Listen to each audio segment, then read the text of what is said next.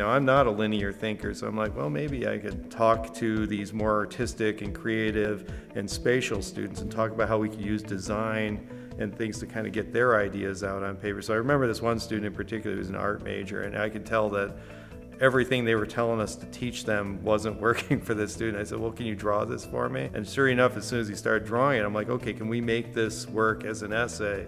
Uh, can we draw this out as boxes and spaces and stuff? And suddenly it's like you really could see the light kind of coming on, and he could understand that, okay, what I'm good at with design actually works with writing.